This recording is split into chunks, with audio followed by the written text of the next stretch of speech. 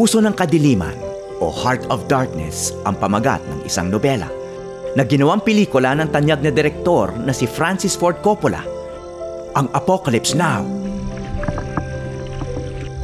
Ang napusuan location ni Coppola para rito ay ang Pagsangan River sa Laguna.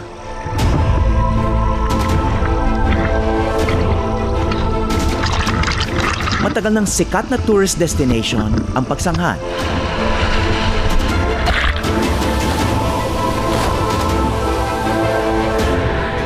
Sa pusod nito, may mga itinatagong lihim.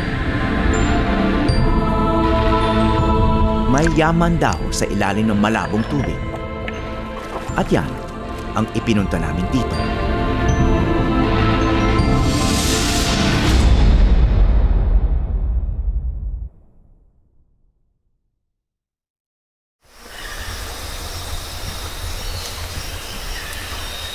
Sa sinaunang panahon, ang mga ilog ang mga highway ng ating bansa. Sa tabi ng ilog, umusbong ang mga komunidad at kaharian. Ang mismong pangalan nga ng bayan ng pagsanghan ay hango mula sa mga ilog na nagsanga o pinagsangahan. Ang ilog ng Balanak at Bumbungan.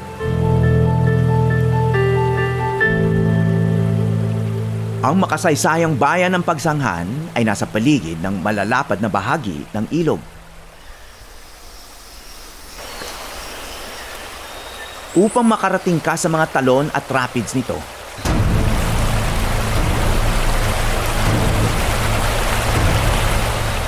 kinakailangan kang sumalungat sa agos ng tubig.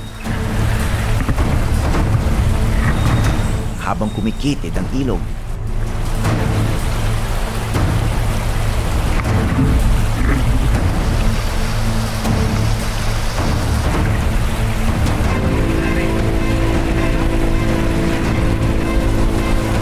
Ayan, para kami pinapasok sa loob ng washing machine. Kita mo gaano kalakas yung tubig dito at napakaraming bato.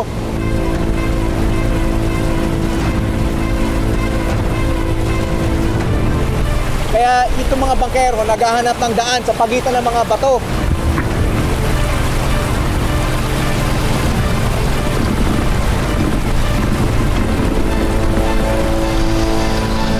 umaasa ka sa husay ng mga bangkero.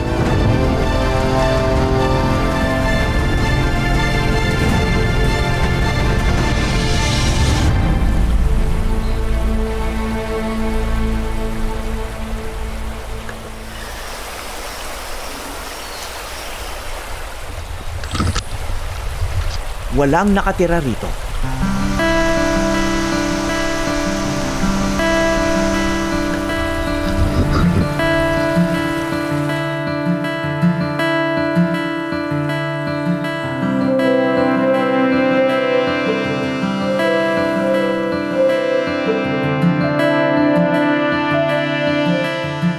Sa lalim ng mga bangin at kapal ng gubat, sandali lang masusulyapan ng araw. Maagang dumidilim. Mabilis mababalot sa tunog. Nalikha ng mga hayop na hindi mo nakikita.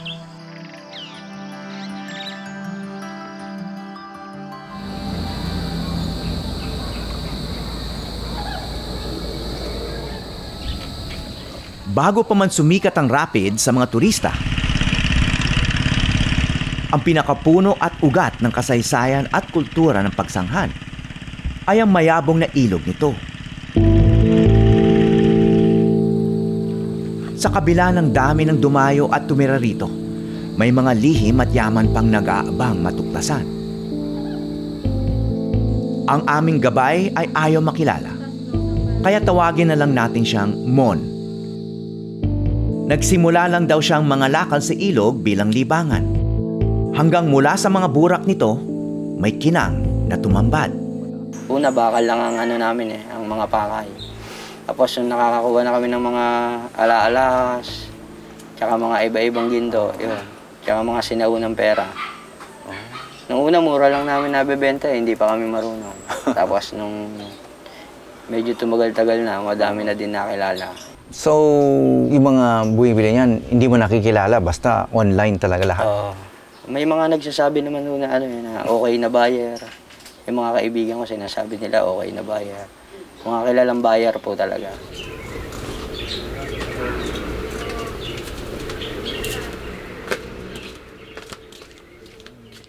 Ipinakita sa akin ni Mon ang kanya mga nakolekta. Ayan, yung mga nakukuha ko lang na pinakita ko. Pero mayroon na may-ari niyan. Ang liliit pala, no? Oo. Paano mo sila nakikita sa ilalim? ginagamitan lang ako ng flashlight. Talagang tiyagaan, no? Oo. Pero sa ilalim, pag na-flashlight to, kikislap siya. Oo, parang gano'n. Kasi, di ba, mag, ano yun eh, magre-reflect yung ginto, ano? So, ginto ito. Oo, mga ginto po. yan. Pati, pati ito, ginto? Oo. ito? Paano mo laman na ginto sila? Itsura pa lang. Oo. Ano-ano to? Ano sila dati? Mga Ito, sing-sing o hikaw? Higaw. Sinaunang higaw, mga tamborin. Ano yung tamborin? Tamborin parang yung sa alahas din po.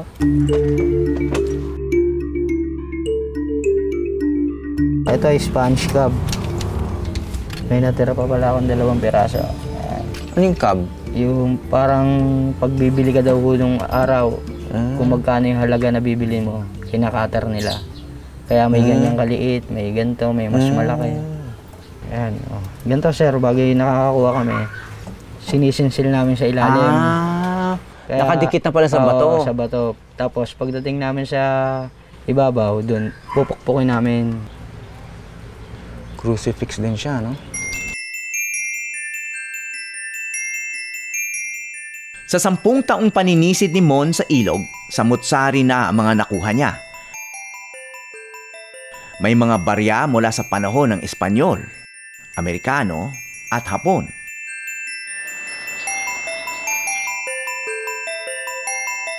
Bala. Mga krus. Piraso ng alahas.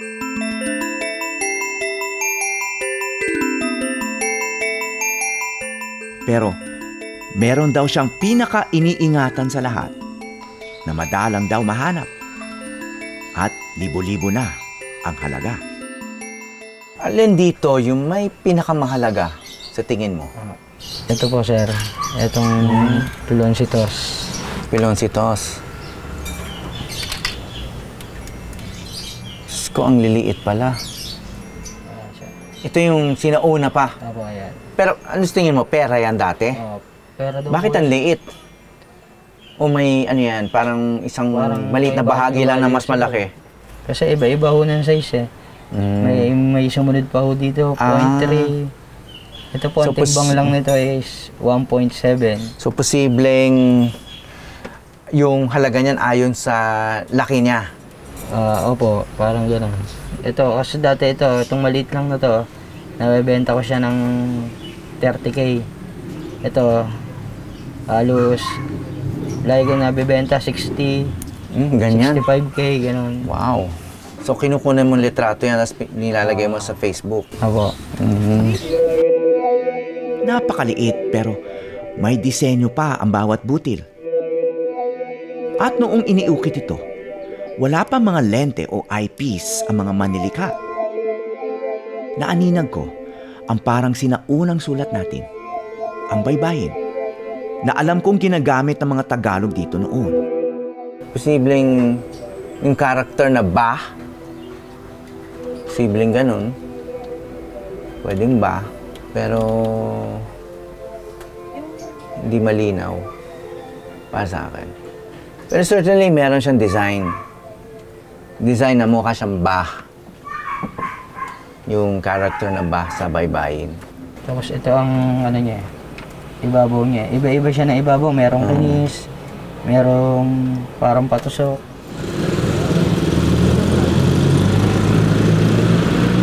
Dinala kami ni Mon kung saan siya madalas mga lakad.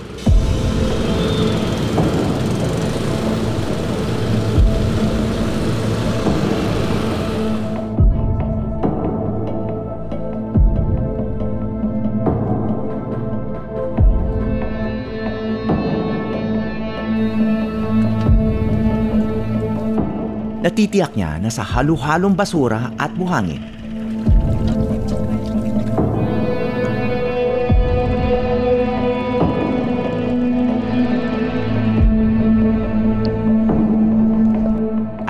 ay masisimot pa siya para sa kanyang di pangkaraniwang kabuhayan.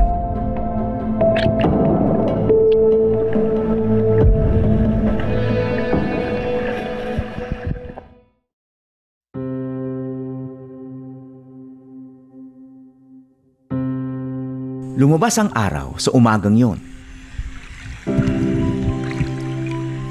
Kalmado ang tubig, ngunit malabo pa rin dahil sa ulan ng mga nakaraang araw.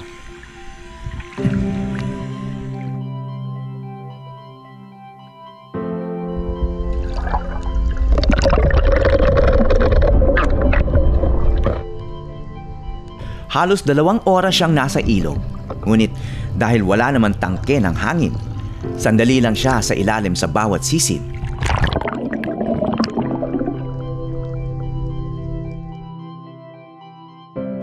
Isang minuto lang, kailangan ng umahon.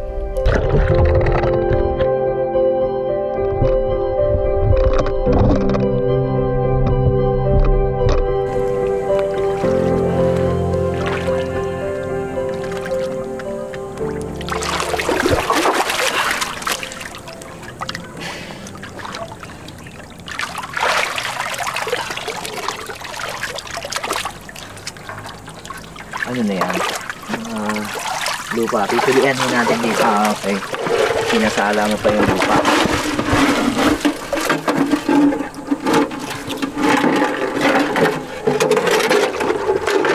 Mga lumang pako.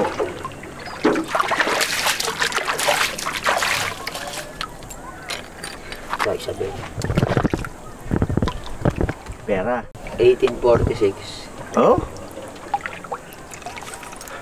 1846. Ito may halaga pa to. Konti, maliit lang po. Ito pa.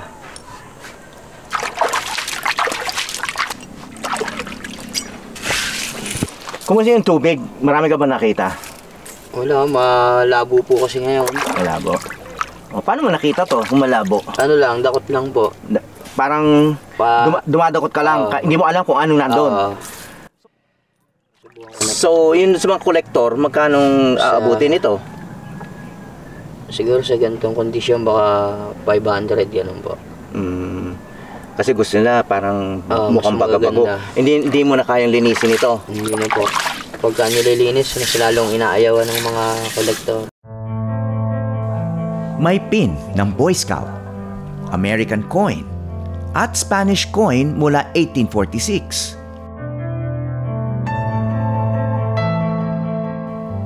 Sino mag-aakala na sa ilalim ng napakasikat na ilog, nakatago pala ang mga kusing ng mayaman nating kasaysayan? Napakalabo sa ilalim ng pagsanghan. Tila sinlabo ng kaalaman natin ukol sa mga unang pamayanang Pilipino.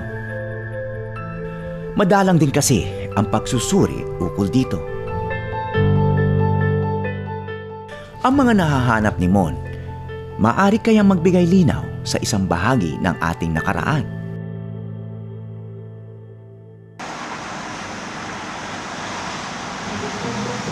Pinuntahan ko ang isang coin collector para maliwanagan.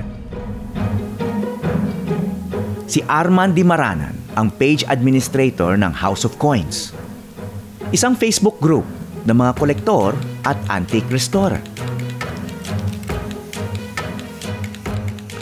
Malaki ang koleksyon ni Arman at ang ilan dito nagkakahalaga ng mahigit daang libong piso bawat isa. Ngunit hindi lang daw siya kolektor, kundi isang numismatic. Ang kaibahan naman ng kolektor at is bili lang ng bili. Lahat ng makursunadahan niya, bibili niya yan. Basta bago sa mata niya. Ang isang numismatiko naman, pinag-aaralan niya bawat detalye ng barya. Bawat pera may istorya. Lahat ito ay mga Spanish uh, coins during Spanish era natin. Itong maniliit na to, it's either uno reales, dos reales. Ito, ganito siya kalaki. Ganyan siya kalaki na pinutol ng ilang piraso para maging Hindi siya bilog na bilog noon. hindi siya bilog na bilog noon. Kasi ang mga barya noon, eh, hindi ginawa ng molde. Ginawa siya through Mano-mano. hammered. Oo, Mano-mano. ina- Mano-mano. Pinupukpuk yan. Bali, ito, ito yung tinatawag na barter ring. This is gold. Yes, this is gold. Iba't iba ang laki ng nasa koleksyon ni Armand, ngunit may isang kasing liit lang ng butil ng bigas. Nagawa sa ginto. Ang kwento niya, ang halaga nito sa merkado, ay nasa 50 hanggang 60,000 piso. Ayun ang isa sa mga pinag-aaralan ko ngayon kung paano ginawa ang mga ginto noon. Nakagaya nitong ginagamit natin nung panahon noon. Dahil sa sobrang liit at napaka gaganda ng disenyo.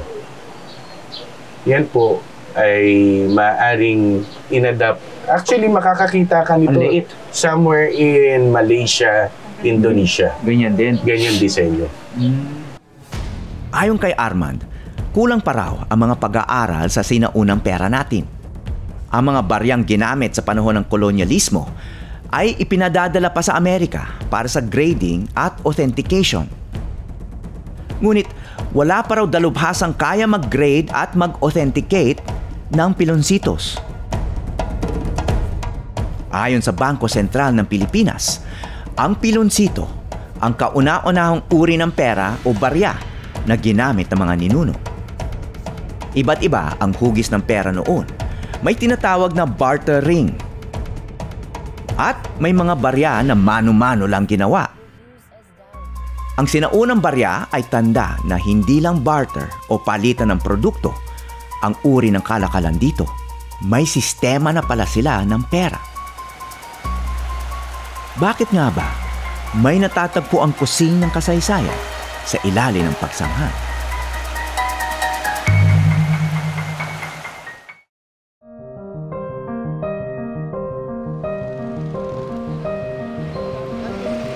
Sa tulong ng historiador na si Peter Ukong, hepe ng Laguna Tourism and Culture, nalaman namin na sentro pala ng kalakalan ang pagsanghan bago pa man dumating ang mga Espanyol.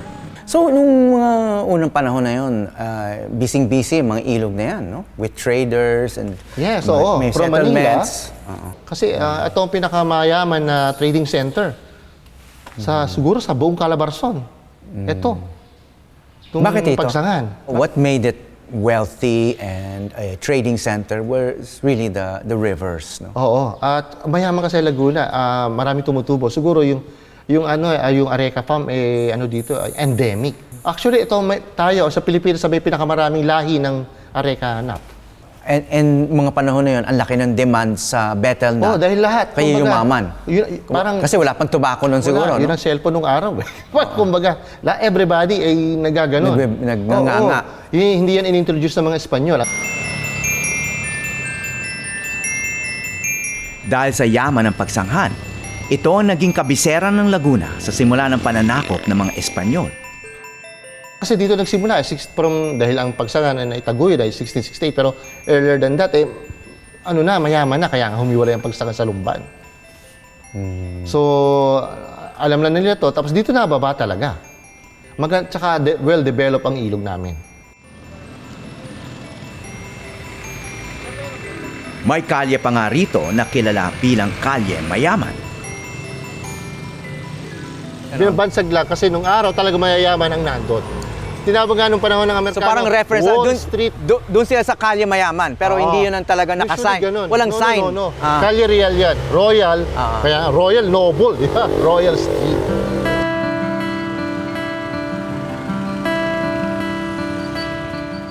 Kwento pa ni Peter, sa mga eskinita lamang tulad nito maaring dumaan ng mga kasambahay para makapasok sa mga tahanan na pinagsisilbihan nila. Lahat ng itinuturing na kalye mayaman noon sa simbahan ng tumbok.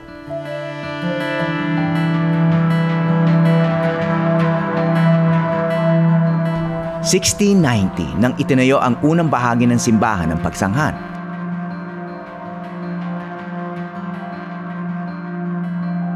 ang istruktura sa labas ay bago na.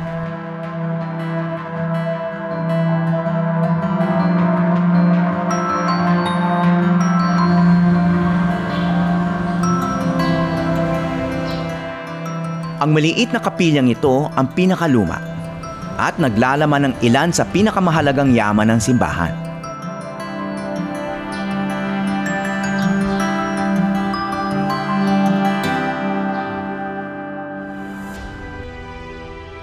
Pero ang yaman na matatagpuan sa ilalim ng ilog may ipapakita sa kauna-unahang pagkakataon sa isang historiador.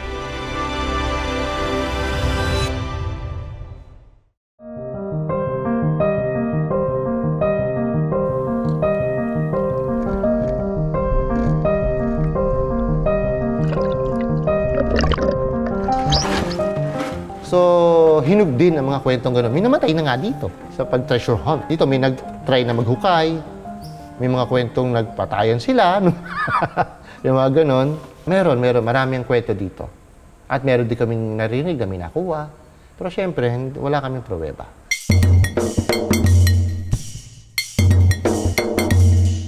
May isang bahay doon sa Europe. Kinausap namin ulit ang historiador ng pagsanghan na si Peter Ukong.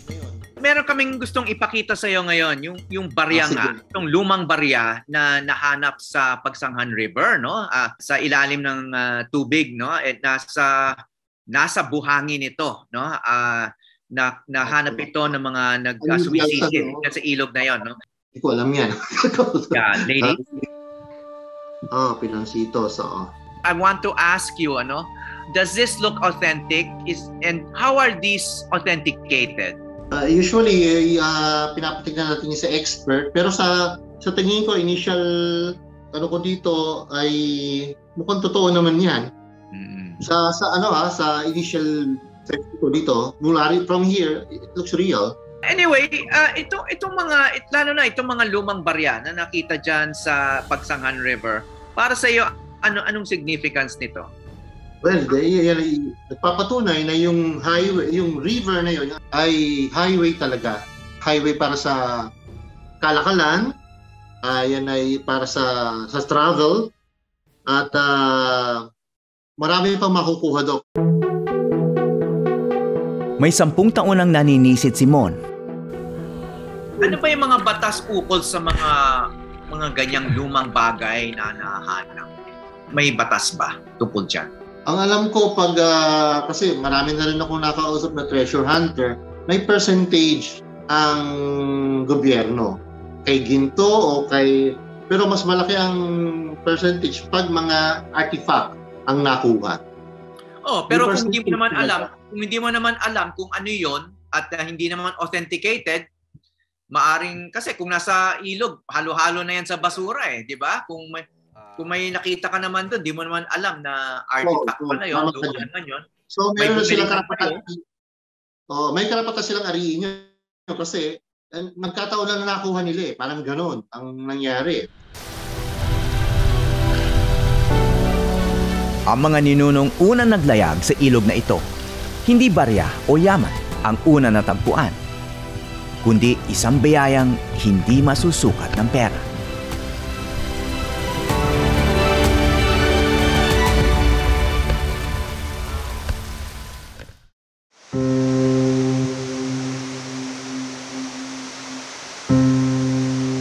Marahil sa bahaging ito ng ilog, walang nahahanap na gintong barya.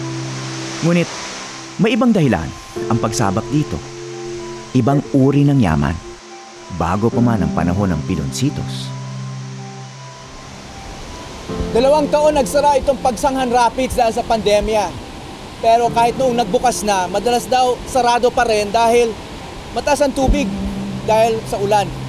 Pero ngayon, magandang panahon, nag-align yung mga bituin at nakaabot kami dito sa aming destinasyon.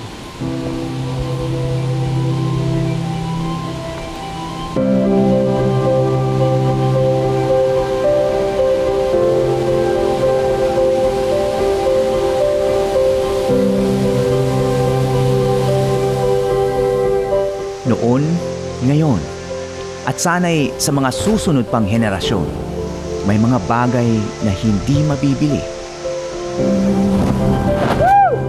Hindi mamamatay.